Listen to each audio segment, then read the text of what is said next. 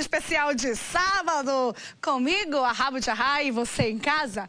Não, não é só a gente não. Olha aí quem tá aqui também. Oi, Fabiola, boa tarde. Hoje estamos livres do Marcelo. Quer dizer, hoje o Marcelo está de folga. É, é bom falar a verdade mesmo, que você fica sossegado quando tá, quando tá comigo. Diga a verdade. Fico mais tranquilo.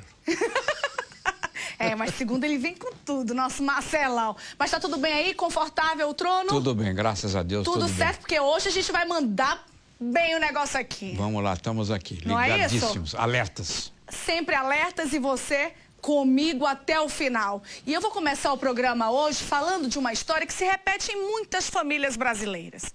É a questão da obsessão.